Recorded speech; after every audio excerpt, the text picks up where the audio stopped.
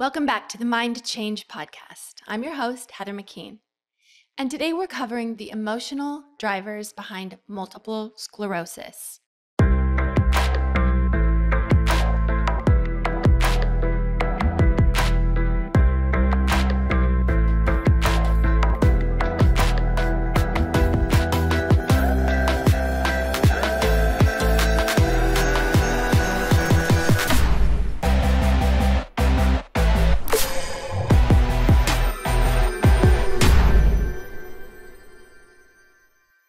According to the National Multiple Sclerosis Society, multiple sclerosis, or MS, is a disease that impacts the brain, spinal cord, and optic nerves, which make up the central nervous system and controls everything we do. The medical cause of MS is unknown, but they do know that something triggers the immune system that seems to attack the CNS or the central nervous system. The resulting damage to the myelin, which is the protective layer that's sort of insulates wire like nerve fibers, disrupts signals to and from the brain. This interruption of communication signals uh, causes unpredictable symptoms such as numbness, tingling, mood changes, memory problems, pain, fatigue, blindness, even paralysis. Everyone's experience with MS is different, and these losses may be temporary, but they can also be long lasting. According to the NHS, MS is not curable. But that makes sense considering it is very difficult to cure something if you don't know why it's happening in the first place. Now, though I never officially received an MS diagnosis, I know that my doctors were headed in that direction. Through some of my neurology appointments, it was noted that it looked like there were plaques or lesions on my brain. Luckily, all of this happened very close to the time that my health went into crisis mode and I nearly died. And for me, this was the catalyst that pushed me to finally take my health and healing into my own hands, where it had always belonged. So let's think about this. Remember that the subconscious mind often speaks through the body in metaphor or metaphoric representation. Looking back, in my case, it made perfect sense to me that I had plaques on my brain. Plaques or lesions are actually something like scar tissue. In fact, the word sclerosis means scarring. If you're familiar with my childhood environment from my book or some of my former podcast episodes, there were definitely some events that from my childhood that could have been categorized as scarring. But a traumatic event in and of itself doesn't necessarily mean that you'll end up with scar tissue in your brain. But over time, when these events are replayed over and over again, often in your subconscious mind, they become areas that we want to forget. See, MS is deeply connected with a victim mindset. There seems to have been some sort of a surrender or a giving up, a losing hope. It's a deep belief that things will never get better, therefore, it's pointless to try. Now, that feeling is very contradictory to our internal survival system. Metaphorically, this is where we see the body responding in symptoms that are categorized as MS. There's a basic loss of body autonomy. Muscles seem to give out. Coordination can be affected. There can be speech problems and much more. Basically, and metaphorically, the body's returning to an infant like state of helplessness. This is in alignment with the thoughts that are going on in the subconscious mind about being helpless and victimized. Now, before we judge that attitude, it's important to remember that these people have very good reasons to come to this conclusion. So let's get into some of the drivers and possible childhood environments that help support the symptoms of MS. One of the most common base drivers is growing up in a home where perfectionism or high achievement was prized or expected or even demanded. Remember, this same environment can have different effects on different people. You may have multiple siblings grow up in this home and have drastically different coping mechanisms, where one child might become intensely driven to succeed and end up choosing a highly successful career or life path. Another child might end up feeling that they can never measure up and believes that they will never have what it takes to win. So one of these kids may end up a famous surgeon, and the other may end up with a debilitating case of MS. And while the surgeon path may seem like a preferable way, deep down in both siblings, they believe they can never be enough. they may both die still feeling like they could never win the approval of a parent or primary caregiver. The motivation will always be to win approval, not to be good, successful, or healthy human, but to be good enough to win a parent's love. Where one child might be a superachiever, the other may attempt to return to a more helpless, childlike state to ensure that they will always have someone caring for them, to be back in the blissful state of being loved for just being rather than doing anything. Both will operate under a very heavy, heavy burden. Both will be searching for a version of love and acceptance without ever really feeling like they have it. Some of the other common drivers behind MS are holding on to deep anger, resentment, or hostility. If you felt like or perceived that you were never allowed to have big feelings, especially anger as a child, yet there were some things that happened to you or to your family where anger would have been the very appropriate emotion, you will feel trapped. This can happen with childhood abuse, especially if the person who did the abusing was someone that you loved, someone who should have loved you in a better way. This can definitely be physical or sexual abuse, but it could also be abuse through neglect or abandonment. It's very common for MS sufferers to still be in relationship with the person or persons that they identify as a childhood abuser. This illustrates their felt inability to escape, change, or be free. In fact, the longer that this has been going on, the more quote unquote normal it feels. Yet the body and the central nervous system will continue to live in a state of fight, flight, or freeze, which of course eventually takes a very big toll on the physical body. So often, MS sufferers didn't feel able to or allowed to express hurt, anger, or frustration at situations. So it all became internalized. You may feel that communication is futile. But rather than let go of the hurt, you hold on to it and you hold it close and you replay it over and over again. The reason is you're actually seeking validation that it happened and that it mattered because you did not get that validation when you were a child. Over time, this creates a rigidity in mindset and attitude. This is an overreaction or overcompensation for the feeling of being abused uh, unprotected, unsafe, helpless, or pushed too hard, too heavily as a child. If you weren't able to speak up, then you will now attempt to control your current adult environment. Although it's being done through a lens of pessimism, negativity, and pain. It's possible that you may have been exposed to a traumatic environment as a child with no safe outlet or safe person to model how to process your emotions. And what this would have done is caused you to disassociate from your emotional self. This may seem to serve you for a while in your pursuit of achievement or success, but inevitably you'll find yourself drawn to work environments where you feel unheard, unseen, controlled, abused, and criticized.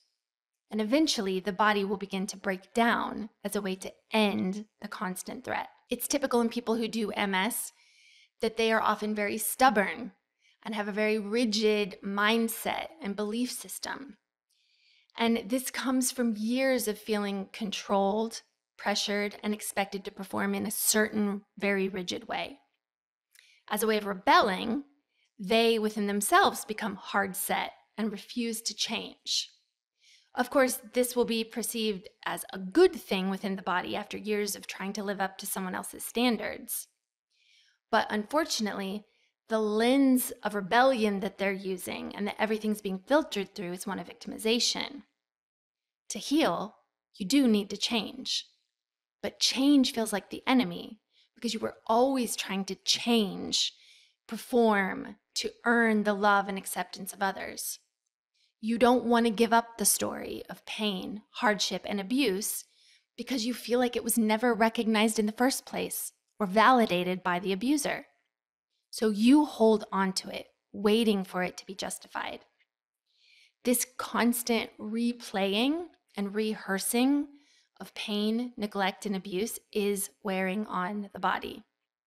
The body becomes weary and it becomes depleted of anything good because the focus is on validating the bad things that have happened. Subconsciously, you would rather have your body shut your body shut down systematically than to do what it would take to heal because changing affirms their belief that everything and everyone is against them.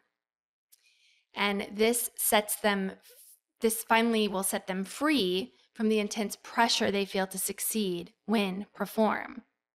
It's not really them, it's their body doing it, doing the disease, so it's not really their fault. Another common driver is a feel of fear of failure.